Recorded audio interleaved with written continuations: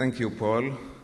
Although it's a little bit complicated to refer your uh, briefing, at least I can agree with you and adopt your recommendation about doubling the budget, especially the defense R&D budget. Our next uh, speaker is Mr. Robert Shaw, who is the president and chief and CEO of uh, Net Optics since 2001, uh, and he is responsible for conceiving and implementing corporate vision and strategy to position Net Optics as a leading provider of total application and network visibility solutions for both physical and virtual environments. The company is included, included in the elite list of highest performing companies three years in a row, received honors for excellence and awards and accolades. Shaw's leadership experience spans startups to Fortune 200 organizations, and he held senior vice presidential executive positions. It is my pleasure to invite you to speak about leveraging SDN for network visibility, security, and threat response. Please.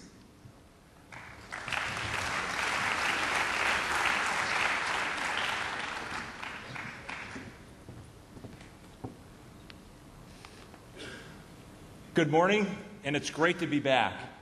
As I chatted with you, a number of you at the break, the one thing we kept talking about is as we look around the room, the number of entrepreneurs, the education, and the leadership in this room is different than many conferences all of us go to. And so the energy and passion you get out of this, as I look around the room, is this is a group that can make a dramatic change in this industry. However, one of the things I want to start with is we've got some big challenges. Challenge number one is the approach that we're using today for network security is not working, period. And I'll explain why.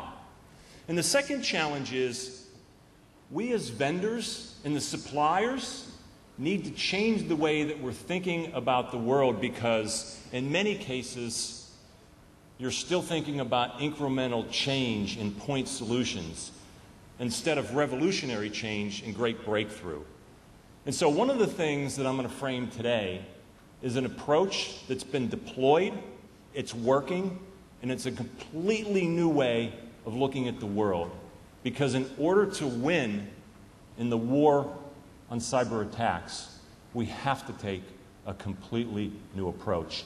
And it means, if you think about all of us came together today, invested our time to focus on how do we change this. And what typically happens is when we leave, we go back to what we know best in doing things the way that we traditionally do. What you're going to hear from me today is an approach that we need to take when we leave here of how we need to band together and approach this industry, this market, in this war on cybersecurity in a completely different way. Now, for those of you that were here last year, I made some bold promises. And the promises were as a company, we believe in Israel. We're going to invest in Israel. Our founder of the company grew up in Israel and moved to the United States when he was in his teens. And the commitment was how do we band together and take the technology and the resources and the talent that is in Israel, and we're going to invest in it. And so my commitment was we were going to open up an R&D center. We were going to hire the best and brightest talent, and we were going to grow and use this as a springboard not only in Israel but across Europe. And so we believe in accountability in the company. I gave myself a scorecard, the company a scorecard on how we did. And let's take a look at it. We gave ourselves an A plus. Here's the deal. We opened the R&D center. Huge success. We hired 20 of the brightest, talented, skillful individuals that we could find. And they have continued to bring other resources with them, and we will continue to grow. And sales are doubling. Now, if you look at what we're doing, we've got the VP of Technology, Sharon Besser, who many of you know, and the VP of Engineering, Shlomo Garfinkel. They have built a team that is so focused on how we win in this space because we need to make some changes. And let's take a look at what they are. First of all, the logos that are flashing across the top are household brand names, and they have suffered breaches in security. 130 major incidents to date so far in 2013. 70% of these were discovered, and listen to the stat on this, were discovered by folks other than the organizations themselves. And in most cases, it was by one of us if we were the consumers. That's completely wrong. And 44 million records were compromised. Why is this happening? We have a different perspective in the way that we look at the world. For those of you that are familiar with NetOptics, you know that we actually form the backbone in some of the largest organizations around the world. We actually have products and services that are sitting both in telcos, the largest government agencies, and the largest enterprise. We have 7,000 customers. The reason I mention this is the way that we look at the world is completely different. We have a unique perspective. All of the data from the networks run through our products and then we feed the security tools. We're able to view and see what current and future networks look like, typically better than anyone else in the world. And what we see and what customers talk to me about when I'm with them, whether it's a CIO or a CTO or a CEO or the head of a large military establishment, is they're really worried that the way that they're thinking about and deploying their security solutions is not right because what they're facing are the tools are becoming overwhelmed. And as a result, they can't keep up. And the reason is because they're not thinking about an architecture that's completely different. And so, what we're talking about is how you actually build a security centric network. How do you think about designing in security from the very beginning so that the DNA of the network is constantly thinking in a different way. And you're not dependent upon one particular tool in order to handle it. If you think about one of the comments that Art made, he really emphasized how total visibility across the network is key.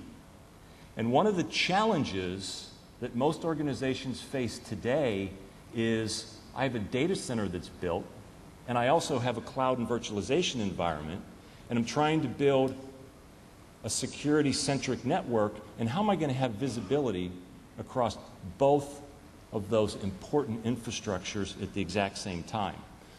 You've got to have total visibility into all of them. You need to make sure you're utilizing the industry standards. And you need to also be very clear that as you are managing both of these very important infrastructures, that you've got simple, centralized management. Because if you don't, the thing that will continue to happen is the tools will absolutely get overwhelmed. So, this is how typical security deployments are done today. One, and this was interesting because over about the last two weeks, the conversations happened twice. Customers have deployed security solutions, the best of class, and they said, you know what, what I'm putting in the network today actually took two years to engineer, design, and release. So from the time I have it, it's actually outdated. So you've got outdated innovations that are point solutions that you're trying to get deployed. You have advanced threat that you're trying to deal with all these vectors and how are you going to handle those? Zero day exploits. You actually have the security tool that you want to have solve the problem now becomes the risk. And as we've all said, we've got limited time, limited resources. How, in fact, are we going to be able to deal with that? Here's how we're thinking about the problems. One, high availability. So, knowing that we've got critical spots of the network, what's typically happening is customers are actually deploying two or three security devices in certain areas to make sure they're covering it. They've got complex deployments. So, as a result of this, they're saying we've got to go with a mesh type of network so whether you have the ability to deal with anything that can happen and be very responsive. Or constant innovation. We've got to make sure that we've got the latest and greatest technology so that we can try to anticipate anything that happens, not necessarily knowing what it is. And the fourth way is just we've got to continue to invest and spend maybe we can spend our way out of it. And it won't work. And so, what we've seen and what we've recommended and what we've deployed is a concept where the actual network becomes part of the solution. Now, imagine for a second if the network could make decisions on its own. And when network saw that in a particular area that the amount of traffic or the patterns started to become unusual. And as a result, it could actually redeploy tools itself without human intervention, and it could take what is typically one or two security tools that are targeted to that particular part of the network and repurpose and redeploy four or five others because it knew that the attack that was coming in the next minute was something that it hadn't prepared for, and the current tools that were targeted to it would not be enough. This is currently being done today, and it's a completely different way of architecting visibility and security into the network. The other thing that you think about is how do I end up covering all the various corners of a network so that I not only have visibility into what's happening, but I'm able to take action on what I see. And one of the key pieces of this is as you design the network, both from a cloud and virtualization and from a physical standpoint, you in many ways never have any idea of where the breach in security is going to come from. But what you need to have happen is the tools repurpose themselves in real time so that they can handle it. And what we're seeing happen is these networks are being designed. You have three or four security suppliers sitting in a conference room together with the customer, architecting the network. You have the APIs that are starting to be shared, so the infrastructure becomes a living, breathing, operational security structure so that they can be responsive, proactive, and take action in a very quick manner. Here's an example of what it looks like. SDN is a buzzword that everybody's using. It's a very important point. As you design your centralized controller that's looking across the entire network, it gives you the ability to have centralized management no matter what tools you're using in the industry. And then you can take a series of products labeled in the industry. You'll hear this term network packet brokers. They're devices that sit in the backbone of the network. All of the security tools, the best of class, are plugged into those. And what starts to happen is you now have designed a network that's completely agile. It can move quickly, it can anticipate what's going to happen, and it can take tools that were originally targeted for a certain part of the network and redeploy them wherever you need without human intervention in a very quick, timely manner. And here's an example of what it looks like. So all of a sudden, you have a threat that's entering into the network. The centralized controller says, looks like something unusual is going on. I better make sure that the current tools that I have are being deployed correctly. Goes down to the network packet broker. It actually reconfigures the network, reconfigures the tools, and allows the tools come to, into play to take action on what it is that needs to happen. In the past, without configuring it as a security centric network, you would actually, in some cases, say, you know what, the attack is so large, the tools are becoming overwhelmed. It looks like I've got to call in help, take that part of the network down, shut things down, take some action, because the tools are not able to keep up. It's impossible when you're dealing with the scale and scope that you are talking about to be able to do that. You have to think out of the box. We need to design it completely different. And so the key attributes are focused, they're these five, and they're really important. How are you thinking about having total visibility across the entire network so that you can respond quickly? How do you easily provision the information that you need so that you can respond? How are we developing standards across what we're all doing so that in fact we can take all the energy and all of the ideas and all of the insight that we've got here and actually bring it to bear in what we do in our daily lives. Making sure that it's simple and centralized as we start to provide the solutions. And in fact, we are clear in how we're separating what we're doing from a monitoring standpoint and what we're doing for a security enforcement standpoint. Now, here's a challenge that I have. One of the things that I wanted to do as we go forward is give you an example of how this is actually being deployed. So you'll notice when you go out into the common area, we have some of the best and brightest that we've hired. We actually have on display some of the products that are being used not only here in Israel, but around the globe that are making a huge difference as we think about this security centric network. So spend some time with the team. And I actually have a call to action.